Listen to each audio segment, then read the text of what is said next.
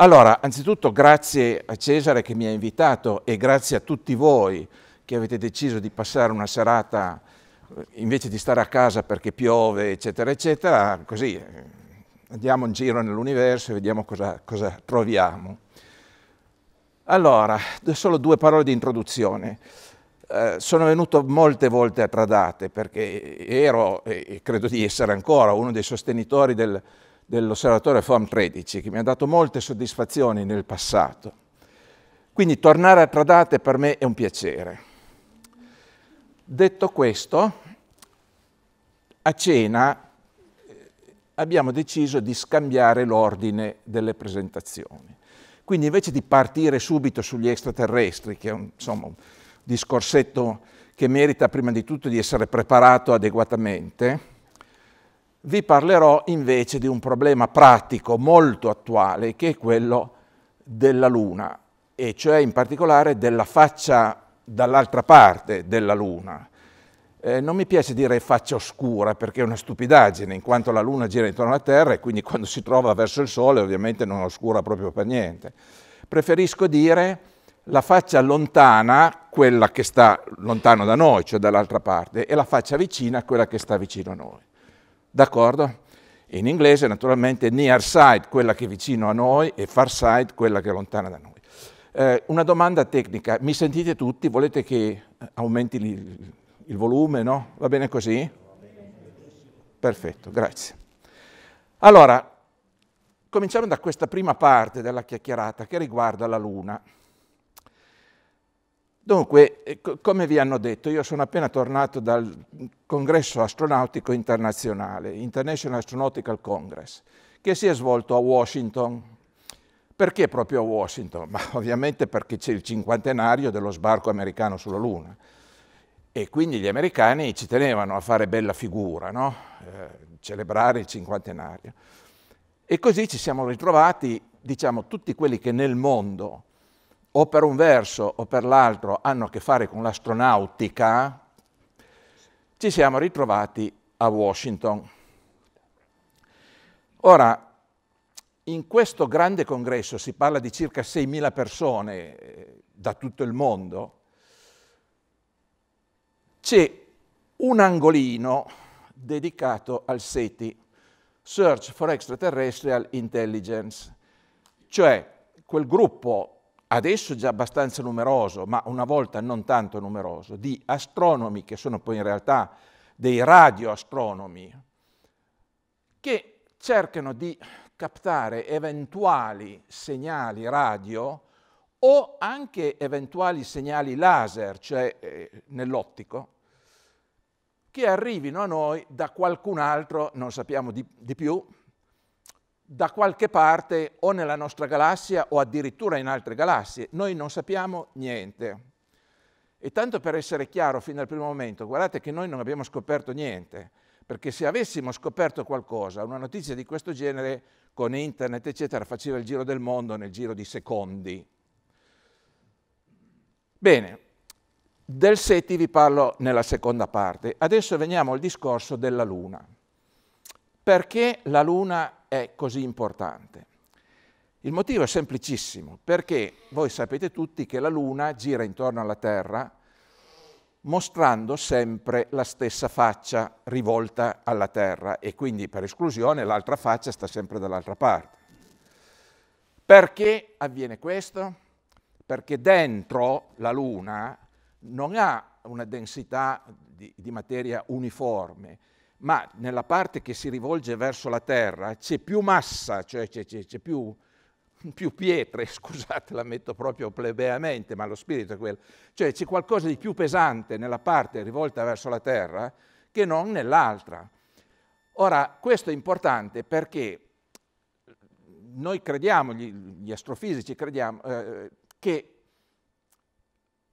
quello che è successo nella creazione della Luna è stato questo il Sistema Solare si è formato circa 4,5 miliardi di anni fa. Poi c'è stato un bel po', fino a 3,8 miliardi di anni fa, cioè da 4,5 a 3,8. Naturalmente i numeri sono a scalare perché ci stiamo avvicinando a, a zero, che è adesso. E a quell'epoca c'era la Terra già abbastanza ben formata, perché la Terra appunto si è formata circa 4,5 miliardi di anni fa. E poi c'erano dei bei pianetoni, ce n'era uno tipo Marte, tanto per dare una, un'idea vaga, i quali giravano. Naturalmente giravano non su orbite circolari come succede adesso, ma giravano su orbite altamente ellittiche. Perché? Semplicissimo perché c'è un teorema, scusate io eh, sono un matematico, fisico matematico, c'è un teorema di fisica matematica che dice che se tu hai un pianeta che gira intorno a una stella, l'orbita di minima energia è il cerchio, cioè il cerchio col centro nella stella. Ora, è chiaro che di energia se ne perde sempre perché ci sono gli attriti, ci sono eh, storie varie, quindi anche se all'inizio l'orbita è ellittica, però col passare di milioni di anni, se non addirittura miliardi di anni, l'orbita tende a diventare circolare. Ed è quello che succede adesso. Quasi, praticamente tutte le orbite del Sistema Solare sono quasi dei cerchi. D'accordo? Adesso, tornando al discorso della Luna, c'era questo pianetone, chiamiamolo Marte 2, dai, così ci capiamo eh, al volo senza tante storie. C'era, sì, come si chiama? Teia. Teia, grazie. La mamma di Selene. La mamma di? Selene. Selene. Eh, ma come la fai difficile, scusa. Eh. eh, il suggerimento di Dario Kubler, eh, vi ringrazio. Cioè, ringrazio lui e voi che, che, beccate tutto quello che noi vi diciamo. Comunque, insomma, il discorso è questo. Questa teia è andata a sbattere contro la Luna. Però qui bisogna mettere in chiaro che lo scontro, poso il microfono un attimo, non è, sta, non è stato uno scontro così, cioè testa contro testa è stato invece uno scontro di fianco, che in inglese si dice WHAM, V-W-H-A-M, Big Wham, è diciamo lo sfregamento, ecco, diciamola così più chiara, di Teia contro la Terra. Allora, quando questo è avvenuto, c'è stato un trasferimento di massa, cioè di materia, insomma, dal più piccolo verso il più grande. Siccome Teia era più piccolo della Terra, grosso modo come Marte. Eh, in questo passaggio di materia la Terra si è arricchita ancora di più di materia, mentre l'altra, povera Teia, è diventata solo più la Luna. Capito com'è nata la Luna? Grosso modo. Ecco. Per inciso, se voi fate, se avete il piacere di, di, di fare i calcoli matematici, andate a calcolarvi la densità di tutti i pianeti del Sistema Solare. Cioè, densità è massa diviso volume, no? Quindi fate la massa diviso 4 terzi greco R3, che è il volume della sfera, e fate il conto. E lì vi salta fuori una sorpresa, che fra tutti i pianeti del Sistema Solare, la Terra è la più densa di tutte. Allora, se mi lasciate usare un linguaggio non scientifico, ma, ma facile, eh, insomma, noi siamo piccoli, ma siamo robusti. Cioè non è un caso che l'umanità e tutto il resto si sia sviluppato qui, perché qui abbiamo una forza di attrazione gravitazionale tale da trattenere tutti i gas che altrimenti si sarebbero spersi nel, nello spazio vuoto, come probabilmente è successo per Marte, eccetera. D'accordo il discorso? Va bene, andiamo avanti. Allora, quando c'è stato questo sfregamento, c'è stato il trasferimento di massa. Naturalmente proprio perché c'è stato uno sfregamento, quella povera luna girava su se stessa come una trottola, no? Eh, si dice to spin in inglese, girava, ma eh, ci sono tanti attriti in questo movimento, no? E quindi nell'arco enorme di tempo di 3,8 miliardi di anni che sono passati dallo sfregamento ad oggi, la povera terra ha finito di stabilizzarsi praticamente e quindi di fatto oggi noi vediamo quasi sempre la stessa faccia, la faccia è sempre la stessa, ma la vediamo un pochino mossa, cioè sono le librazioni lunari che sono il residuo di quello che era successo allora. Chiaro? Va bene. Detto questo, adesso arriviamo al motivo per cui la Luna è così importante. Perché la civiltà umana sulla Terra si è sviluppata, lo sappiamo, diciamo dopo il 1864, non è che prima non ci fosse, ma nel 1864 lo scozzese, non inglese, lo scozzese James Clerk Maxwell scopre le equazioni di Maxwell, che sono le equazioni fondamentali che spiegano eh, l'interlacciamento dei due campi elettrico e magnetico.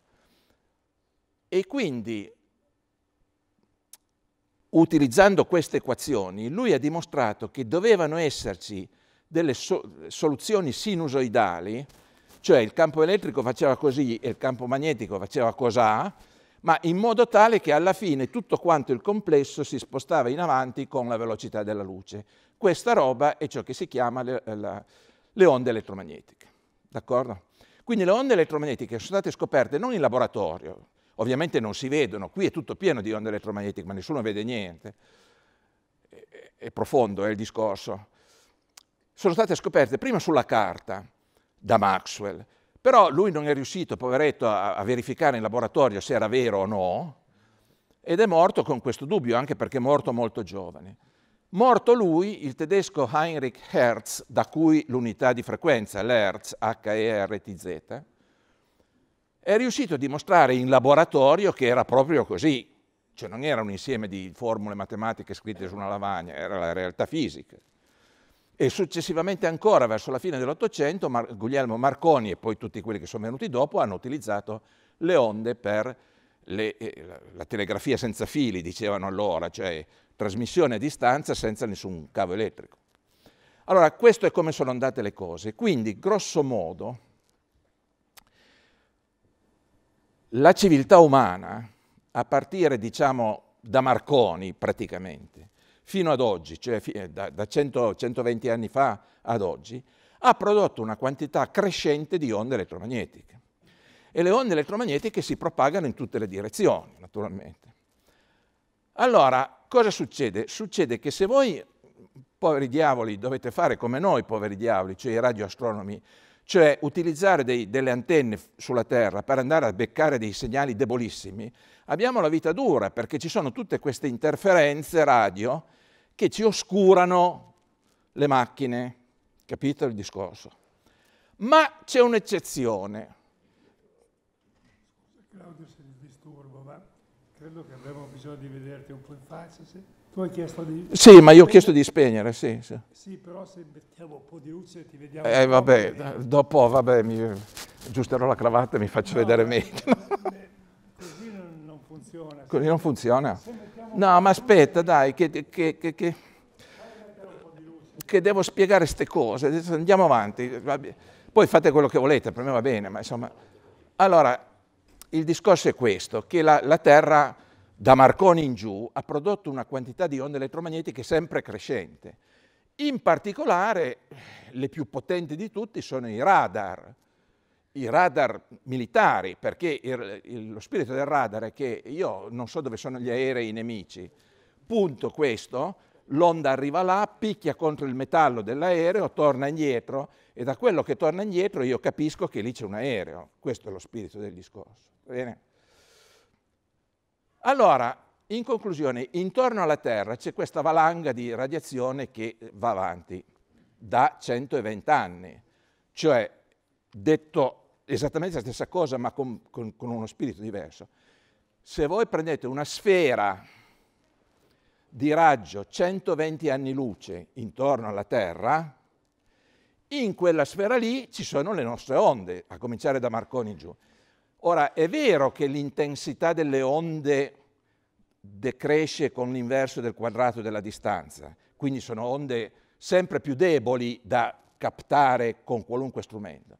Ma questo non vuol dire niente. Se in quella sfera lì di 120 anni luce di raggio c'è anche una sola civiltà come noi, o addirittura più avanzata di noi, cioè con attrezzature ancora più precise, questi sicuramente sanno che noi ci siamo, perché beccano le nostre onde, più di così si muore. Allora, questo è il panorama e anche l'origine del SETI, in effetti, perché eh, il SETI, il prossimo passo è quello di capovolgere il discorso come quelli là possono beccare noi perché beccano le nostre onde elettromagnetiche, così noi potremmo, uso il condizionale, potremmo beccare i loro segnali e questo è l'inizio del, del SETI, d'accordo? Torniamo ancora sulla Luna, perché finora gli sono girato attorno ma non ho detto il punto cruciale. Il punto cruciale è che siccome la Luna è una bella palla sferica, c'è un cono di silenzio radio dall'altra parte della Luna che si estende nello spazio. Questo è ciò che noi miserabili astronomi sogniamo di poter utilizzare per trovare dei segnali debolissimi che altrimenti qui non riusciamo a beccare perché ci sono dei disturbi radio da tutte le parti. Chiaro? Allora, Adesso scusate, ma devo dirvi due parole su chi sono io e perché mi sono occupato di questa roba a partire da, dal 1995. Allora, la faccenda è questa. Io faccio parte dell'Accademia Internazionale di Astronautica, International Academy of Astronautics, che ha sede a Parigi. E eh, frequentando i colleghi ho trovato un mio, diciamo così, un maestro francese che era Jean Hedman, poi vi faccio vedere la foto, il quale mi disse, senti, ma noi dobbiamo fare qualcosa qui per cercare di salvare questo silenzio radio, perché è preziosissimo per fare delle ricerche di segnali molto deboli. Non c'è nessun altro posto intorno alla Terra che ha questa particolarità di essere silenzioso dal punto di vista radio. Va bene. Allora, eh, siccome eravamo eh, eh, tutti e due membri dell'Accademia di Astronautica, lui ha preso in mano eh, l'idea, l'iniziativa e ha promosso quello che eh, nel gergo dell'Accademia si chiama un cosmic study, cioè uno studio teorico no? basato sulla matematica e la fisica, eh, per mettere all'attenzione del mondo questa proprietà unica che ha la, la faccia dall'altra parte. Ora, scusate, ma io vi dico chiaramente come sono andate le cose. Io ero giovane e quando uno è giovane è ingenuo, non, non, si rende conto delle cose, mentre gli anziani le capiscono più a, più a fondo. Insomma, a un certo punto nel 99 mi dice, senti, io ho bisogno di nominare un vice, vuoi farlo tu? E io mi dico, ma vabbè, cosa, cosa devo fare se faccio il tuo vice? Risposta, ah, non devi fare niente, faccio tutto io. E lui era una persona di spirito e io sono stata una persona che non ha capito la vera situazione, perché purtroppo lui era, sapeva di avere il cancro e nel giro di meno di un anno è morto, nell'anno 2000, nel luglio del 2000. A quel punto io sono stato contattato dall'Accademia di Astronautica e mi hanno detto, senti, il tuo capo è morto, vai avanti tu. E io ho accettato. Quindi da vent'anni a questa parte io guido questo, questa ricerca per capire cosa diavolo fare per salvare il silenzio radio che c'è dall'altra parte. Il fatto è che una cosa è scrivere dei bellissimi lavori scientifici, un'altra cosa è sbattere il naso contro la politica. Ora, la situazione è questa, che eh, d'accordo con il, i vertici dell'Accademia di Astronautica, già nell'anno 2010, era il 10 di giugno, eh, mi hanno chiesto, io l'ho fatto, di andare a presentare questo discorso alle Nazioni Unite. Qui ci vanno due parole di spiegazione. Quando la gente sente la parola Nazioni Unite, naturalmente pensa a quello che vede nel telegiornale, cioè il Consiglio di sicurezza, New York, le guerre. Purtroppo è vero. Ma è anche vero che le Nazioni Unite hanno anche delle altre agenzie che non si occupano di guerre e sono dislocate in posti diversi da New York. Per esempio, a Roma c'è la FAO, lo sapete, Food and Agriculture Organization, cioè l'organizzazione che si, si cerca di procurare del cibo per i paesi in via di sviluppo, e questa è a Roma. Poi a Parigi c'è l'UNESCO, United Nations Cultural Whatever. E poi a Vienna ce ne sono due. Una è l'agenzia dei problemi atomici. Potete immaginare voi che difficile compito hanno questo.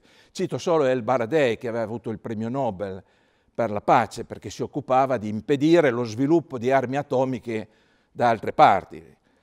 E poi oltre a questa c'è quella che interessava a noi, cioè il COPUOS, Committee on the Peaceful Uses of Outer Space, cioè il comitato per l'utilizzo pacifico dello spazio esterno, esterno alla Terra ovviamente, quindi la Luna ricade lì.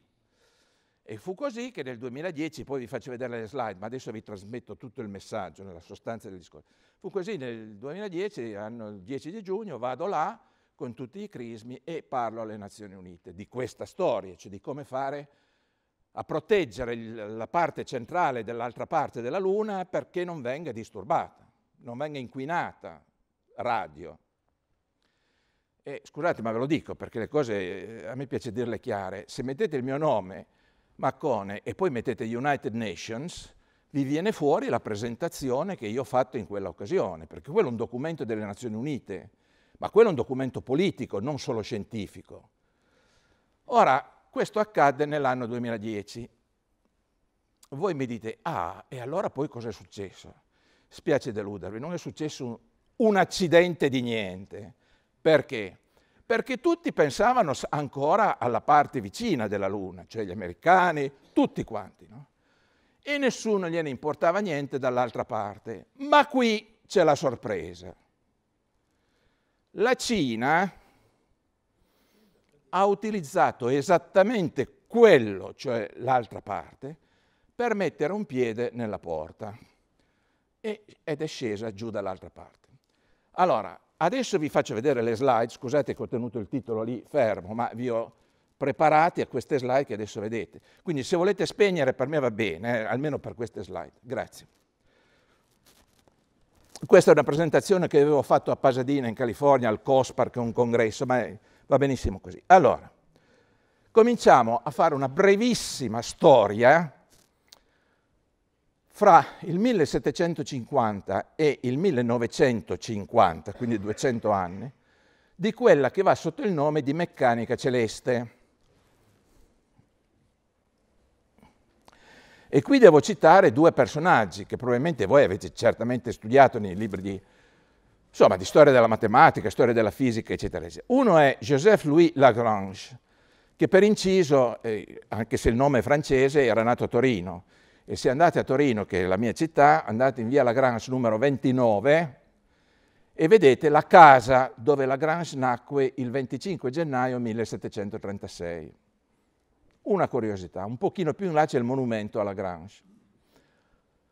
E poi eh, accanto a lui, in realtà un pochino prima, ma dell'ordine di dieci anni, c'è il famoso Leonardo Eulero, che eh, la sua lingua madre era il tedesco, quindi in tedesco si dovrebbe dire Euler, in francese sarebbe Euler. Comunque, insomma, questi due signori sapevano benissimo la matematica cioè il calcolo infinitesimale, eh, derivate integrali, equazioni differenziali e tutte quelle belle cose lì, e la meccanica newtoniana. Ma non sapevano niente di niente del volo spaziale. Ecco, io questo ci tengo a dirlo, perché noi che viviamo adesso e vediamo cose spaziali ogni giorno che viaggiano di qua e di là, non ci rendiamo mica conto di com'era allora, cioè parlo di appena 200 anni fa, non è che sia poi tanto nel passato. Quindi loro non avevano la più pallida idea che quello che stavano facendo sarebbe stato l'inizio matematico del calcolo delle orbite spaziali. E adesso ve la spiego un po' meglio. Allora, questo diagramma mostra due grandi masse il cursore si vede, eh, sì. Allora, qui c'è la Terra e qui c'è la Luna. E la Luna orbita adesso intorno alla Terra su un'orbita che è praticamente un cerchio. All'inizio era un'ellisse, ma come vi ho detto, siccome l'orbita di minima energia è un cerchio, passando 3,8 miliardi di anni l'orbita è diventata un cerchio. Va bene. E quindi questa R maiuscola è la distanza Terra-Luna, che risulta essere 384.000 km. Cosa hanno fatto quei due signori lì?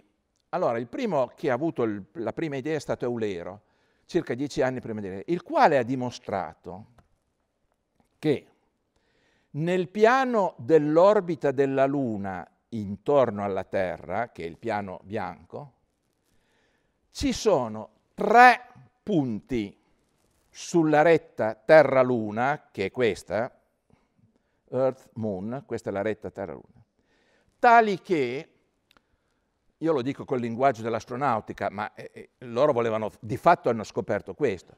Se tu vai a mettere una sonda spaziale in uno di quei tre punti lì, questa qui o cade da una parte o cade dall'altra.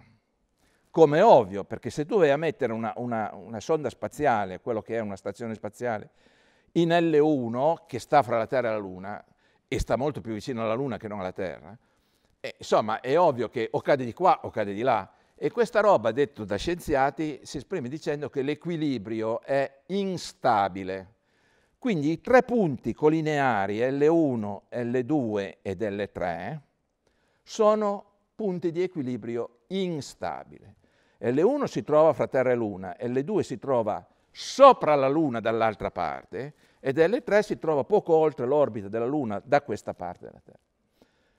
E naturalmente man mano che la Luna si muove, l'altro gli va dietro, quindi la distanza fra L2 e la Luna rimane sempre la stessa, cosa fondamentale per le cose spaziali, perché non cambiando la distanza tu puoi mettere in piedi un sistema di telecomunicazioni che non cambia, perché la, la, la faccenda cruciale nelle telecomunicazioni ovviamente è la distanza fra le, fra le due antenne. Ci siamo? Bene, questo è il teorema di Eulero ed è dell'ordine del 1760-70. Dopodiché Lagrange ha ripreso il discorso e ha dimostrato che oltre quei tre punti lì ce n'erano ancora altri due che vanno sotto il nome di punti triangolari perché sono i vertici, L4 è questo ed L5 è questo, di due triangoli equilateri, cioè questo è R, quello è R e quello è R. Quindi gli angoli qui sono di 60 gradi, 60 gradi, 60 gradi, 60 gradi, d'accordo? Questi sono i due propriamente detti punti di Lagrange e hanno una proprietà meravigliosa, cioè che invece di essere instabili come i tre sulla retta Terra-Luna, questi sono stabili. Cioè si dimostra con la matematica che se tu hai, vai a considerare una certa zona intorno alle 4, grosso modo sarebbe un ellissoide, ma non è proprio un ellissoide. Ecco, e se tu metti un satellite dentro quell'ellissoide lì, sorprendentemente quello viene attirato da una forza che, che, che tu non ti aspetti, perché lì non c'è, non c'è massa, ma c'è la forza che lo attira verso il punto, capito?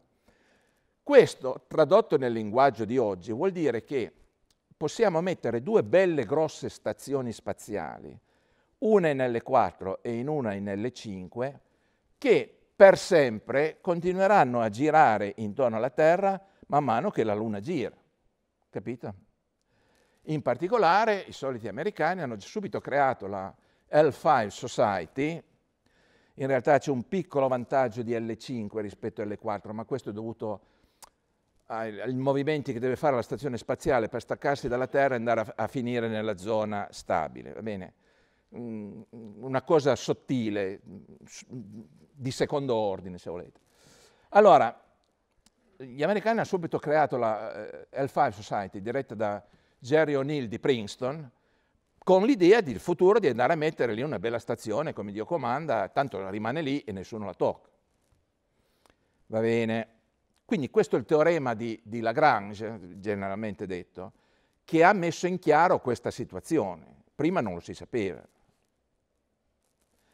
Ma allora ci sono altri cinque punti. Se tu consideri le due masse grandi del Sole, questo qui che fa bella luce, e della Terra.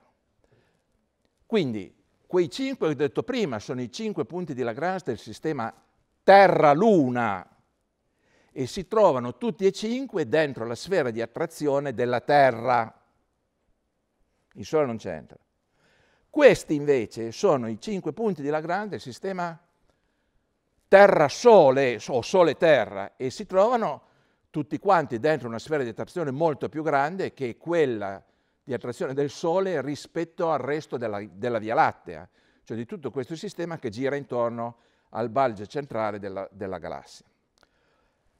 Va bene, quindi in conclusione, se io mi fermo qui sulla Terra, perché la Terra rimane sempre lì, quanti punti di Lagrange ho tutto sommato? Risposta, ho i 5 di Terra-Sole più i due vicini di Terra-Luna. e 5 più 2 fa 7. Quindi, in conclusione, intorno alla Terra ci sono sette punti di Lagrange, che sono la fortuna degli astronauti, nel senso che eh, molte missioni spaziali attuali sono state progettate proprio per mettere dei satelliti o quello che sono scientifici o quello che sono in quei punti lì. Ne cito solo alcune. Herschel Planck, probabilmente l'avete sentita nominare, è quella che ha misurato eh, l'origine dell'universo, cioè la radiazione di fondo cosmico di 3 Kelvin che riempie tutto l'universo. Gaia, eh, che è la splendida missione dell'ESA, ed Herschel Planck era pure lei dell'ESA, cioè sono due missioni europee, non, non, dovete credere che fa sempre tutto la NASA, non è vero. Insomma, l'Italia, cioè l'Italia, scusate, l'Europa non ha tanti soldi, però eh, non siamo mica degli stupidi, insomma, quello che possiamo lo facciamo. E poi c'è la missione Chang'e 2 cinese e il telescopio James Webb della NASA a partire dal 2020, che poi è l'anno prossimo. Va bene, questa è la situazione di alcune importanti, poi c'è ancora SOO per esempio che si trova intorno al punto di Lagrange L1 verso il Sole.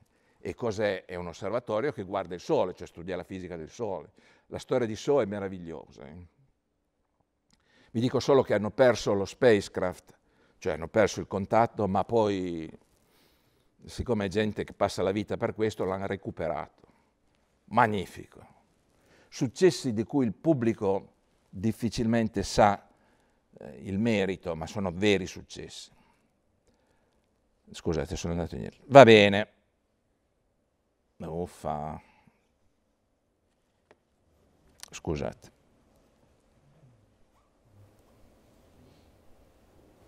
Ok. Facciamo un altro passo avanti. Questo signore del 1800 diciamo, vestito un poco come Napoleone III, perché lui eh, viveva nell'era del secondo impero francese, si chiama Jules-Antoine Lissajou. E in realtà Lissajou non si era occupato di orbite, quello che lui ha fatto è stato inventare il pendolo doppio, cioè se io, invece di avere sempre un pendolo che oscilla in un certo piano, lui ha considerato un pendolo che oscilla, eh, cioè il, la traccia del pendolo sul piano che sta sotto va in due dimensioni invece che in una sola. E questo si chiama il pendolo doppio di Lissajous, c'è tutta una serie di curve, eccetera, eccetera, eccetera.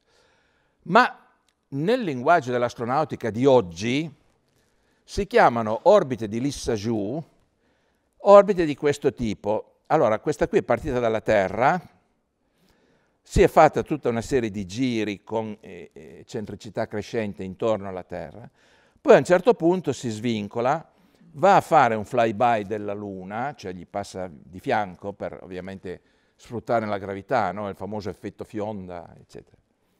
E la Luna lo spara in fuori finché questo va a posizionarsi intorno al lagrangiano L2 di Terra-Luna, cioè quello che sta dall'altra parte. E questo è lo stesso discorso, ma in, in, eh, nel piano perpendicolare. Ah no, scusate, ter, L2 di Terra-Sole, scusate, che è 1,5 milioni di chilometri, pardon, non di Terra-Luna, di Terra-Sole. Eh, questo è un successo grosso, perché vuol dire che voi potete risparmiare carburante, perché la, la sonda va dove la gravità la manda, e cioè segue i teoremi di Euler e di Lagrange. Quindi se questi non avessero fatto una matematica con i baffi, queste missioni spaziali non esisterebbero.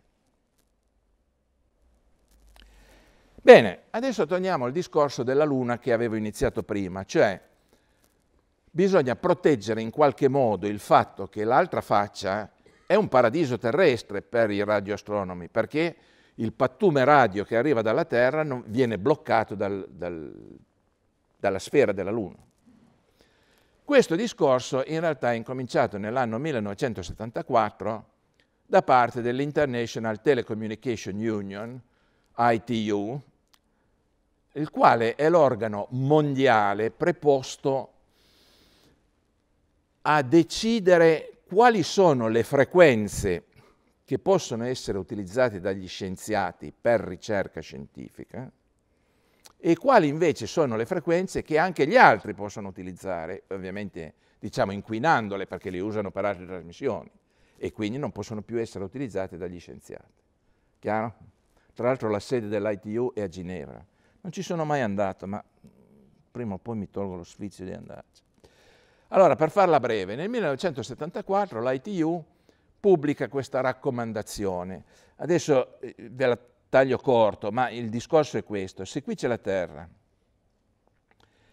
e se intorno alla Terra c'è un, un, satellite che emette onde radio, per esempio un satellite per telecomunicazioni, ha un'orbita di altezza 100, 100,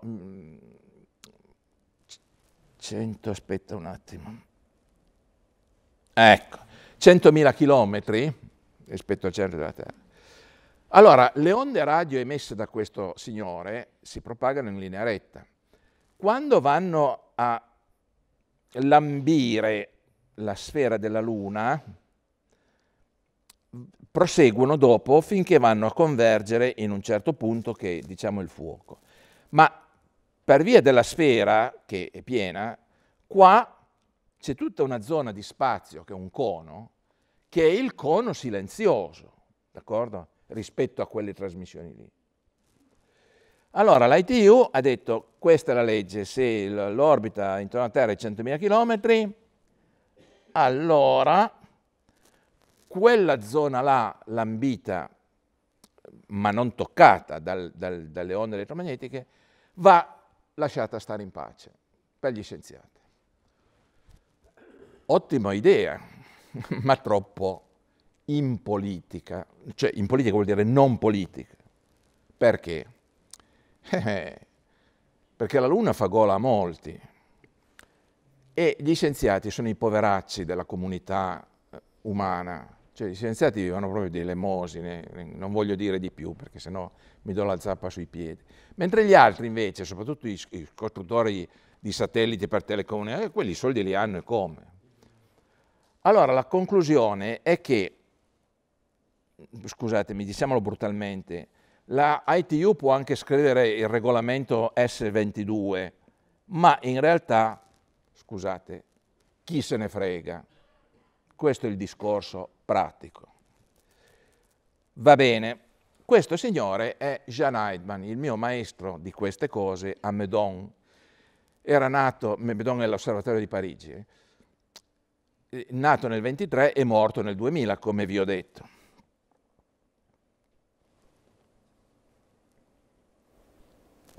E qui c'è una sequenza di eventi che vi ho detto prima, cioè nel 1994 Jean Heidman propone SETI, l'osservatorio SETI nel cratere Sa, ma mi spiace dirlo perché sembra che io dia contro il mio maestro, ma non l'ha scelto bene. Ma d'altra parte, sai, quando fai la scienza non è che fai tutto giusto fin dal primo momento.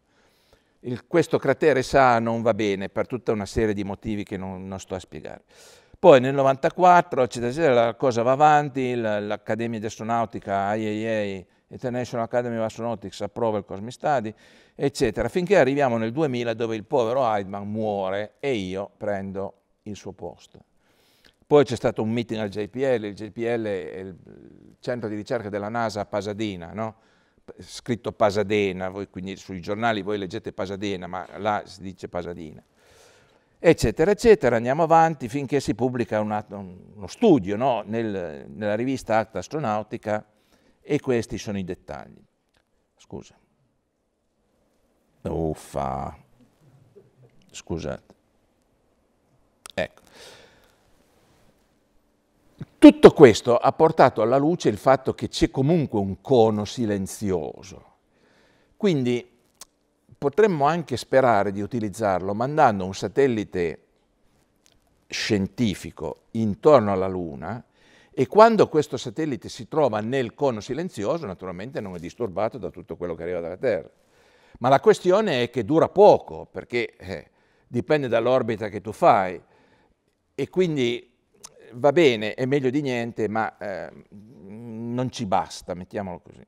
Qui ci sono i calcoli, ma ve li, ve li E adesso, scusate, ma ci sono io.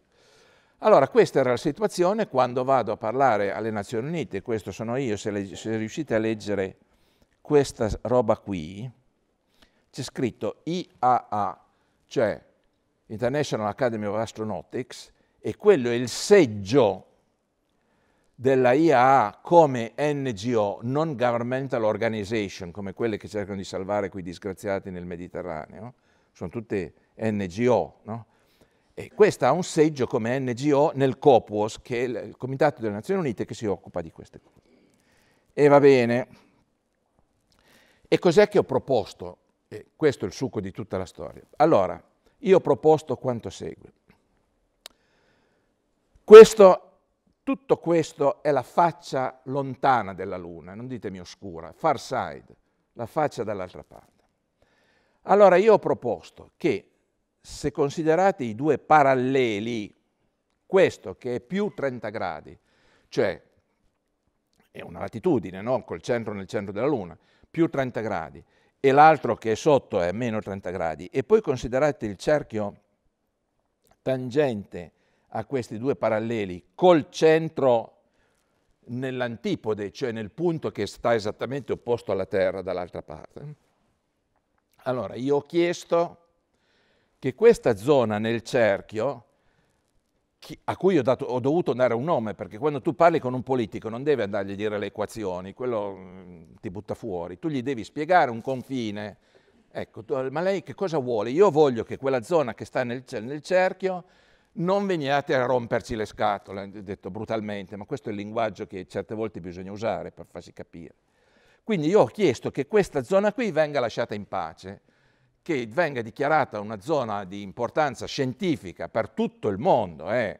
occhio, non sto tenendo dalla parte degli americani o dei cinesi o di chissà chi, per tutto il mondo, in modo che chiunque voglia andare a fare delle ricerche di radioastronomia spinta, va a mettersi lì meglio che mai nel centro e sente il cielo come prima che Marconi cominciasse a fare gli esperimenti. È un bel, è un bel spazio di, di, di, di eh, quanto è sulla, sulla, superficie, 2000, insomma è un, una bella fetta, basta. Adesso questo è lo stesso discorso, ma visto da sopra. Quindi questa è la Luna, il cerchio è la Luna. Da questa parte c'è la Terra, dall'altra parte c'è sull'asse Terra-Luna eh, la retta che prosegue fino al punto di Lagrange, L2, no? Ve l'ho detto. Allora, perché io ho scelto questo? Perché supponendo che nel futuro, fra 50 anni, 100 anni, 1000 anni, non lo so, ci siano due stazioni spaziali nel punti L4 ed L5, come suggerito dagli americani, allora la radiazione emessa da quelle due stazioni spaziali, che sono nei punti di Lagrange L4, cioè questo angolo qui è di 60 e questo angolo qui è di 60, questa radiazione viene giù rettilinea così, va a picchiare su questa parte della Luna, ma non fra 150 di longitudine est e 150 di longitudine ovest. Cioè c'è uno spicchio sferico, si dice, compreso fra il polo nord e il polo sud, e, e, che sottende un, arco, un, un angolo al centro di 30 più 30 che fa 60, che è protetto da future radiazioni emesse da future stazioni spaziali in quei due punti là. Chiara la motivazione scientifica questo io ho proposto alle Nazioni Unite. In particolare, praticamente quasi al centro, cioè quasi al punto del, centrale di quel cerchio lì, che è l'antipode, c'è un bel craterone che si chiama cratere Daedalus. E io ho proposto che questo cratere sia il luogo dove nel futuro verrà creato un osservatorio astronomico. Ovviamente per l'astronomia nel visibile, lì è pacifico, ma anche per il radio, perché questo è il posto più protetto, è ovvio no? che il posto più protetto sta esattamente al centro dall'altra parte. Questo cratere ha dei meriti perché è grande e largo circa 80 km.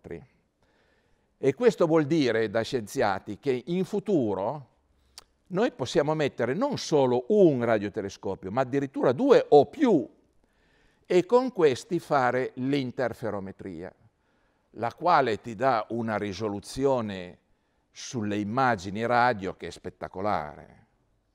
Chiaro? Quindi è bello grande ed è bello utile per quello. Ma c'è ancora un altro vantaggio. Intorno c'è questo muro che è alto circa 3 km rispetto al fondo del cratere.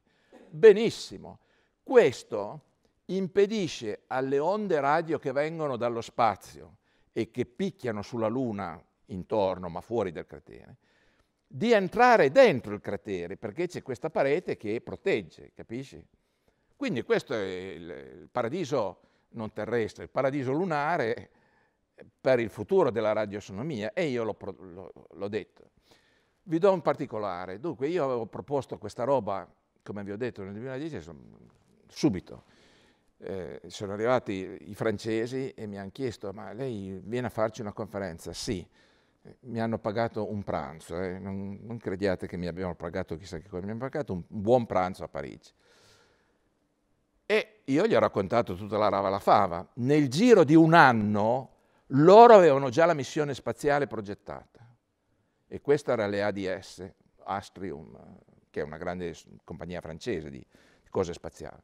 Cioè loro hanno già fatto tutto il progetto, parto dalla Terra, eh, scendo giù nel cratere Daedalus e calo nel cratere un, in inglese si dice phased array, cioè vuol, vuol dire questo, scusate ma devo posare il microfono un attimo. Vuol dire questo, questo spacecraft scende giù nel cratere e poi si apre come un libro, no? Opla, tutti piani, eh, piani, opla così, così, così, così, così, insomma alla fine ti viene fuori un bel piano largo, piano, niente paraboloide, perché paraboloide è difficile, poi, poi la, il, fuoco dipende dalla, insomma ci sono casini sulle frequenze, piano. E cosa c'è lì? Eh, ci sono una valanga di dipoli, elettrici perpendicolari al piano e un bel computer che maneggia questi dipoli, cioè le frequenze di dipoli, in modo tale che tu riesci a orientare il fascio nella direzione che vuoi tu, cioè capti quelle che arrivano di lì, poi capti quelle che arrivano di là, capti quelle che arrivano di, di lù, eccetera, eccetera. Questa roba, detto da scienziati, si chiama beamforming, cioè la formazione di un fascio, ma in realtà sono più fasci, contemporanei, artificiali, grazie al computer che manovra sulle frequenze dei dipoli. Chiaro?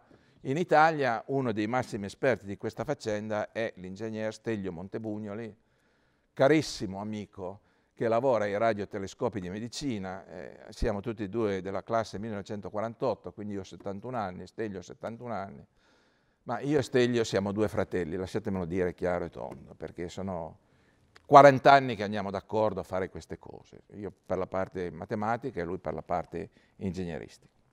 Va bene. Poi c'è la questione di quanto si attenua un segnale radio dovuto a questa scarmatura della Luna. Adesso la taglio corto, comunque il discorso dell'attenuazione, cioè di quanto si abbassa il disturbo si esprime in, dec in, decibel. Il decibel dB è una misura logaritmica, quindi qui stiamo parlando di ordini di grandezza, non è una misura lineare, è logaritmica. E allora ci sono 72 ordini di grandezza se la sorgente è in orbita geostazionaria e poi a seconda delle frequenze vengono fuori con noi. Insomma, per chi capisce queste cose c'è un abbattimento quasi totale del rumore terrestre, che era quello che vogliamo.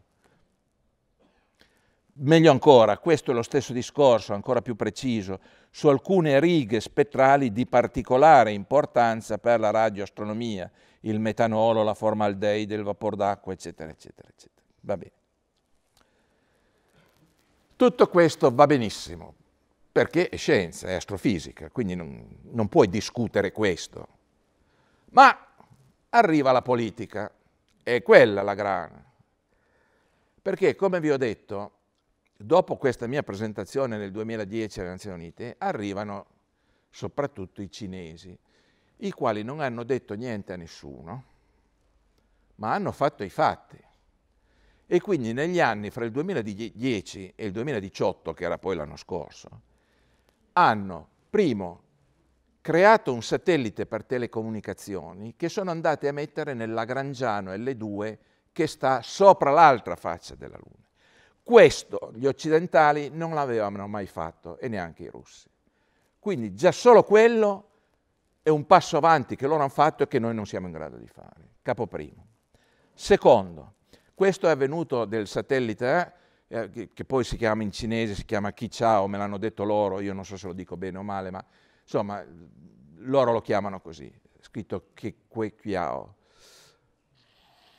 Poi questo è avvenuto nel marzo dell'anno scorso, 2018, ma successivamente, cioè fra il dicembre dell'anno scorso e il gennaio di quest'anno, hanno fatto scendere la vera sonda, cioè la Chang'e 4, la quale è andata a scendere sull'altra faccia della Luna, nel cosiddetto frate- eh, cratere von Karman.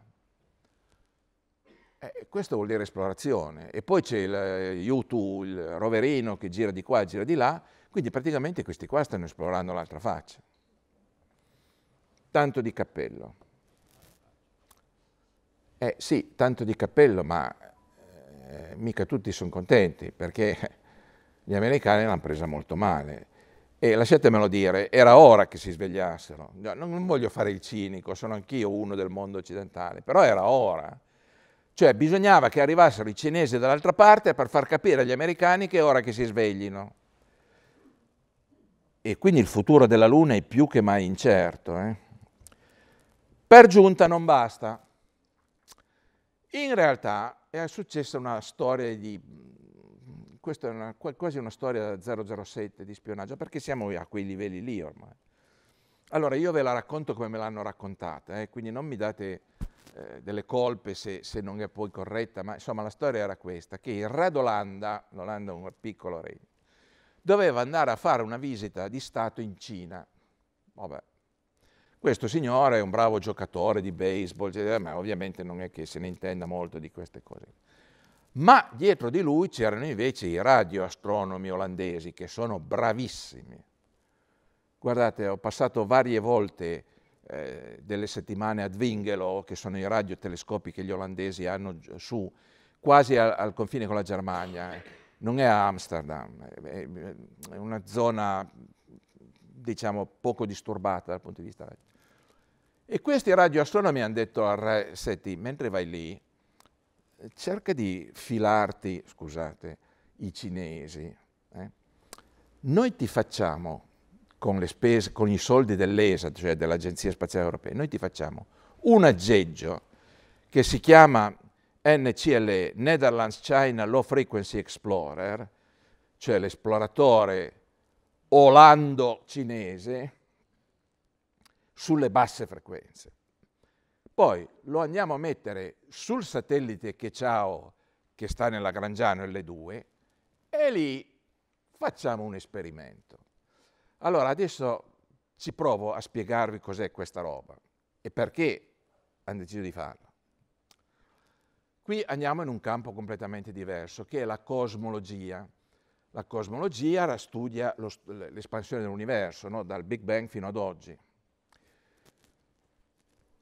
Ora, circa 400.000 anni dopo il Big Bang, si crea l'idrogeno. Cioè prima non c'era nemmeno l'idrogeno. L'idrogeno è l'atomo più semplice che ci sia, cioè protone ed elettrone. No? Ma prima di 400.000 anni dopo il Medino c'era un tale casino, si chiama una, un plasma. Vabbè, era un miscuglio putpurri. Dopo 400.000 anni eh, la temperatura scende, no? E quando arriva a 400.000 anni vanno bene le condizioni perché l'idrogeno si formi e quindi ci sono i primi atomi di idrogeno. Vabbè. Allora, gli atomi di idrogeno si sono conservati tali da allora fino adesso, cioè non è che l'idrogeno abbia cambiato le orbite, c'è sempre il nucleo che è fatto dal protone con il bravo elettrone che gli gira intorno, punto e basta. L'orbita è sempre la stessa, detto così, facile. E noi sappiamo che l'atomo di idrogeno subisce una transizione di spin. Allora, potete accendere la luce un attimo per cortesia? Un attimo, un attimo, un attimo.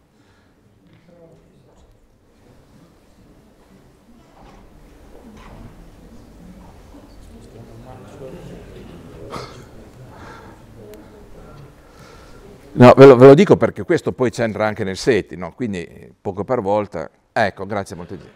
Allora, supponiamo che questa penna qui, bella argentea, sia il protone dell'atomo di e supponiamo che questa, che è una volgarissima biro, sia l'elettrone. Quindi l'elettrone, detto alla facile, poi non è così, ma insomma, detto alla facile, gira intorno al protone, esattamente su un'orbita circolare. Questo è l'atomo di Bohr, che è il modello più semplice. Allora, la realtà è che ciascuno dei due poi gira su se stesso. Quindi questo qui gira su se stesso in questo modo qua e l'altro gira su se stesso in questo modo qua. Ma si mantengono sempre paralleli. Adesso non mi venite a chiedere perché non vanno sghembi, perché la meccanica quantistica è fatta così, punto e basta. Allora, nella configurazione di minima energia, che ancora una volta è l'Eldorado, perché l'energia decade per attriti, balle varie, ma alla fine non può scendere sotto quel limite lì. Nella configurazione di, di minima energia questi due spin sono antiparalleli, cioè uno punta in alto, è un vettore ovviamente, che è il vettore velocità angolare, e l'altro punta in basso, d'accordo? E in meccanica quantistica si dà il valore di spin uguale a un mezzo per convenzione, eccetera, eccetera. Va bene, questa è la configurazione di minima energia. Solo che tutti gli atomi di idrogeno dell'universo, non è che siano soli, ma si trovano immersi in un bagno di radiazione di tutti i generi che deriva dalle stelle, dalle galassie, da tutto quello che volete voi. Allora c'è un bellissimo capitolo della fisica teorica che si chiama la teoria dei coefficienti di Einstein, perché l'ha scoperta Einstein, e ti dice che un atomo di idrogeno immerso in un bagno di radiazione ha una probabilità non zero, quindi vera, piccola ma vera, di, opla, fare una transizione di spin. Capito il discorso? Passo da così, che è quella di minima energia, a così, che non è più la minima energia. Se faccio così, assorbo un fotone. Se invece passo da quella così a così, cioè ritorno giù, cedo un fotone. Va bene? Questa è meccanica quantistica. Ora lasciate che vi spieghi le circostanze umane di questa scoperta, perché anche l'aspetto umano conta, non è che i fisici siano avulsi dalla realtà, questa è una cretinata degli umanisti, i fisici vivono purtroppo. E questi tempi furono gli orribili tempi della seconda guerra mondiale, quando l'Olanda era sotto l'occupazione nazista.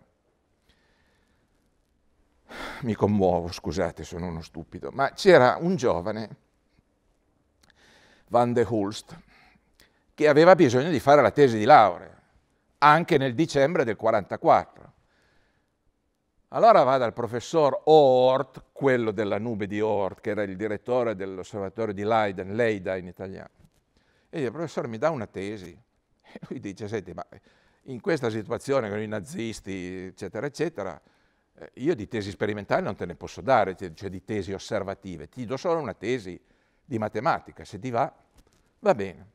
Prova a calcolare tu qual è la frequenza del fotone assorbito o emesso quando avviene la transizione di spin. Ce l'ha fatta.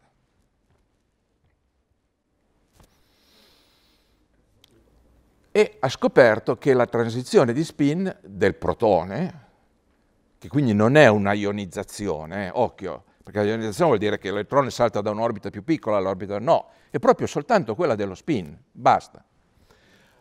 Allora, la, il fotone assorbito o, o, o emesso è, ha una frequenza di 1420 MHz, cioè 1,420 erotti GHz. Ma questo avviene su tutti gli atomi di idrogeno. E siccome l'atomo di idrogeno è il più importante dell'universo, perché è il primo nella tabella di Mendeleev, e cioè in tempi, in ordine di tempo, è stato il primo ad essere creato alle origini dell'universo, dicevo 400.000 anni dopo il Big Bang. Eh, è chiaro che di quella radiazione lì ce ne dovrebbe essere tanta, tanta, tanta, tanta, perché tutti emettono e assorbono. Finita la guerra, eh, per inciso devo essere sincero, la stessa scoperta è fatta negli stessi anni da un grande astrofisico sovietico, Josif Shlovsky dell'Università di Mosca. Allora, finita la guerra, gli americani dicono, ah sì, allora facciamo la prova per vedere se è giusto, e l'hanno trovata. Quindi la radiazione che, si, va sotto il nome, noi la chiamiamo la riga dell'idrogeno, no? perché è una, è una, riga molto stretta, è intorno a 1420 MHz o 1.420 GHz. Quella è la radiazione più importante di tutto l'universo. A questo punto due meravigliose scoperte. La prima scoperta è questa. Gli olandesi che si sono ripresi in mano questo, questo tesoro che avevano scoperto, hanno usato una storica antenna che esiste tuttora ad Vingelo. Un, visto con gli occhi di oggi è banale, un'antenna da 25 metri, ma è storica, perché loro hanno usato questa antenna per setacciare tutto il cielo visibile dall'Olanda. E cosa hanno trovato? Hanno trovato che nella galassia, voi sapete che noi siamo in una galassia, i bracci di spirale sono caratterizzati da un'intensità molto più elevata e lo credo con tutti gli atomi di idrogeno che ci sono lì, mentre invece fuori dai bracci la densità è molto meno elevata. Ma questo vuol dire mappare la galassia, cioè la prima mappa geografica della galassia è stata fatta, diciamo, dopo il 1950, soprattutto dagli olandesi, dimostrando in modo non, non oppugnabile che noi ci troviamo dentro una galassia spirale che è la Via Lattea e ci sono due bracci, uno verso il centro della galassia che si chiama il braccio del Sagittario e l'altro dalla parte opposta che si chiama il braccio di Perseo. D'accordo? Una scoperta epocale, una dimostrazione fuori di ogni discussione. Prima gli astronomi l'avevano già capito, ma si erano basati sugli ammassi globulari, che si muovono come veramente è, cioè che noi non siamo nel centro della galassia, ma siamo spostati, siamo circa a metà strada fra il centro e il bordo. Va bene, allora questa è la prima grande scoperta, ma ce n'è un'altra ancora più bella. Noi finalmente abbiamo capito questa benedetta radiazione della riga dell'idrogeno, ma allora l'hanno capito tutti gli astronomi alieni cioè, se ci sono delle altre civiltà extraterrestri, anche solo nella nostra galassia, poi dopo andiamo a estendere il discorso alle altre galassie, ma cominciamo a guardare a casa nostra, che è la Via Lattea. Questi, per forza di cose, devono sapere che esiste la radiazione della, della riga dell'idrogeno, perché è la, è, la, è la cosa numero uno. Allora, se vogliamo cercare dei segnali emessi da quei signori là, invece di andare, scusate scherzo, di andare a sintonizzare su radio Tradate 425, io vado a sintonizzarmi sulla riga dell'idrogeno. Eh, scusa, non sono un cretino, perché quella lì è la più importante di tutte. E quindi tutte le più importanti ricerche SETI, Search for Extraterrestrial Intelligence, a partire dagli anni 60, e questo ve lo dirò nella prossima presentazione, sono state fatte principalmente sulla riga dell'idrogeno. Poi, se uno vuole, può anche andare a farle su altre righe, ma eh, quella è eh, quella su cui noi, potete anche dire ci illudiamo, insultateci pure, che ci arrivi un segnale extraterrestre. Capito l'origine del SETI? Va bene, adesso finiamo su questo. Allora, questi astronomi olandesi, che sono tutt'altro che stupidi, sono i migliori del mondo, o perlomeno i migliori in Europa, va, dai, non voglio mancare di rispetto ai dei americani, ma insomma, questi non sono affatto... Hanno detto al re, senti, fammi sto piacere, mentre vai là da, da, in Cina, chiedi a questi cinesi di lasciarci mettere questo aggeggio sul satellite che ciao, cioè quello che va nel Lagrangiano L2 di Terra-Luna, d'accordo? Allora, questo aggeggio è fatto da tre, lasciatemi usare la parola baffi, vi ricordate i, gli anziani della eh, si ricordano certamente che sopra il televisore c'erano sti, erano solo due, qui invece sono tre, ma qual è il succo del discorso? Questi qui sono dei baffi lunghi 5 metri, eh, quindi non stanno sul televisore di casa nostra. Eh, qual è il succo del discorso? È che se tu hai un'antenna lunga così, c'è un baffo, tu vai a beccare onde lunghe, cioè di bassa frequenza. Allora, perché questo aggeggio è fatto in quel modo lì? Perché La riga famosa dell'idrogeno, che 400.000 anni dopo il Big Bang era a 1420 MHz, si è abbassata enormemente in frequenza perché l'universo si è espanso. Capito? Cioè qui ci sono 14 miliardi di anni di espansione dell'universo dentro. Per cui adesso la stessa riga calcolata mi porta a cercarla nelle basse frequenze. E questo era già stato cercato anche prima che i cinesi andassero a mettere il satellite dall'altra parte. Ma mai nessuno aveva trovato niente perché l'intensità da cercare è talmente debole che nessuno riusciva a beccarla. Invece sulla faccia da, dall'altra parte si può sperare che la, la, Luna schermi abbastanza pattume radio che arrivi dalla Terra in modo da poterla scoprire. Capito il discorso? Questo esperimento is ongoing, cioè eh, in questo momento sta, per ora non hanno comunicato niente. Eh, in realtà ci sono altre grane, eh, ne dico solo una che è tremenda. In realtà Kekiao, cioè, insomma Kekiao, questo signore qui che ha lo strumento olandese, non è dentro il cono d'ombra. È vero che gira intorno alla Grangiano, ma in un piano perpendicolare, ma è fuori del cono d'ombra, perché se no non trasmette con i cinesi è grave. Eh. Quindi, guarda, io ho parlato con, con, con, con insomma, gli olandesi, dai, Mike Garrett, eccetera, che voi conoscete probabilmente, no, tu l'hai conosciuto, eccetera. Eh, quando vado a dire che probabilmente i cinesi riusciranno, i, gli olandesi, eh, quello mi fa una bella risata, come dire, senti, non sparare stupidaggini. Noi ci abbiamo provato perché nel campo scientifico tentare non nuoce, no?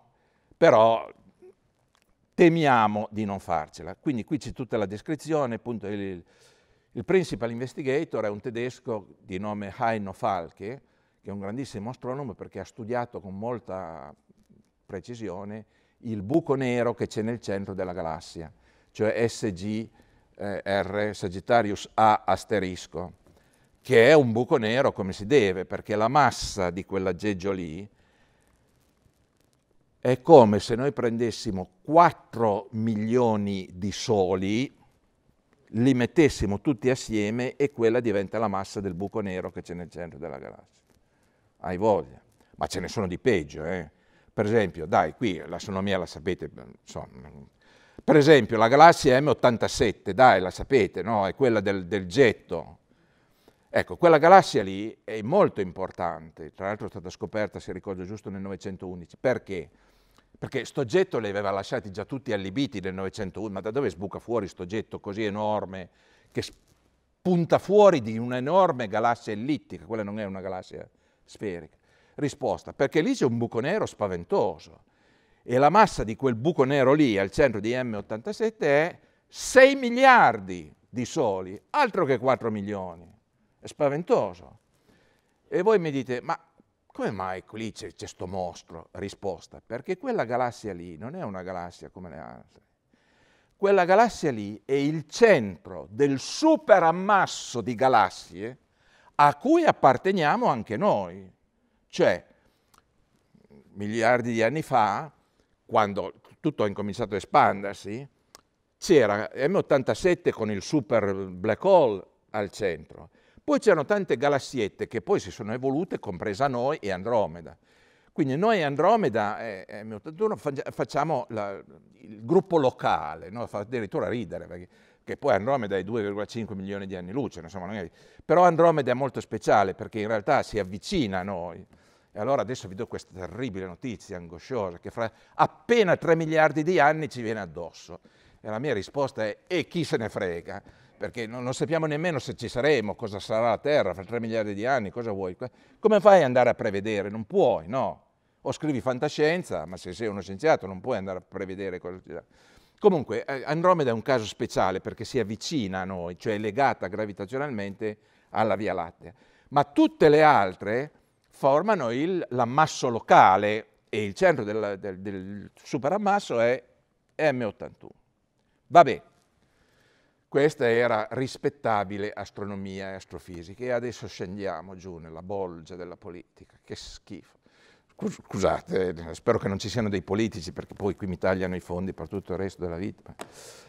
Allora, qui adesso andiamo a toccare il discorso della politica, perché è chiaro che tutti i paesi che hanno capacità spaziali vogliono mettere le, le, le zampe sulla Luna. No? Eh, ma sono tanti. Allora, ovviamente ci sono gli Stati Uniti, va bene. Poi c'è la Cina, che in realtà ha già messo i piedi dall'altra parte. E poi c'è la Russia, l'Europa, il Giappone, l'India, l'Australia, Israele adesso. Insomma, ci sono tante, tanti paesi vari che eh, adesso c'è la corsa alla Luna. Quindi io sinceramente non so cosa succederà, però mi sento molto isolato, e questo lo dico con spudoratezza, nel senso che io ho tutti contro, perché in questi consessi internazionali io sono quel povero, vi lascio l'insulto, che chiede di salvare un, un piccolo angolino dall'altra parte della Luna per, per, per l'astronomia, no? per la scienza, per il SETI, per, per, quello che volete voi, ma non per, per fare soldi e invece gli altri vogliono fare soldi. Per cui c'è la Moon Village Association che anch'io sono membro della Moon Village, quindi mi sto dando la zappa sui piedi da solo. Comunque, secondo me, detto brutalmente, quelli sono i palazzinari. Loro vogliono farsi un fracco di soldi costruendo, lì facciamo l'ospedale, là facciamo insomma tutto quello che volete voi, ma questo va bene, non, non, voglio dire che non bisogna farlo, ma io chiedo soltanto che non vengano a rompere le scatole ai poveri scienziati. Insomma. Quindi è una battaglia persa, me l'hanno detto più di uno eh, e questa settimana che ho passato a Washington, lo dico con chiarezza, è stata una settimana dura per me, cioè intensa. È vero che ho conosciuto molta gente che segretamente mi dicono sì, ma noi abbiamo capito che tu hai ragione, ma non posso aiutarti perché sai, le autorità politiche, bon, tutto detto. Chiaro il discorso?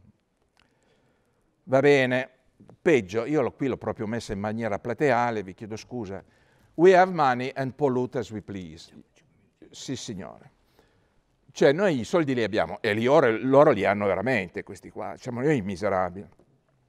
E inquiniamo come cavolo ci pare.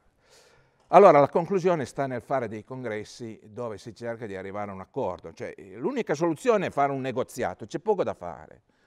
Una cosa io ho imparato in America, che in life you don't get what you deserve, you get what you negotiate. Nella vita tu non ottieni quello che meriti, che è quello che tutti noi vorremmo, tu ottieni quello che negozi. E questo è proprio quello che sto cercando di fare anche con l'appoggio di persone rispettabili, ad esempio Joseph Hill, che è un grande cosmologo, e quindi vi do una bella notizia, che la famosa Royal Society, no, il massimo organo di prestigio britannico, da Newton in poi la Royal Society è stato il tempio degli scienziati migliori, ha deciso di fare un congresso a Londra, la Royal Society, il 16 17 marzo, no, 17-18 marzo, e io mi sono già iscritto. Poi che cosa verrà fuori ve lo dico dopo, eh? mi invitate, mi pagate un'altra cena e vediamo. E questa è la storia. Allora, questa era la prima parte della, della faccenda, che è quella che riguarda la Luna. Il caro Cesare mi ha cortesemente fatto capire che adesso vi devo lasciare insomma, un breve riposo per non dire altre cose e mi fermo qui e la seconda parte sarà poi invece il SETI.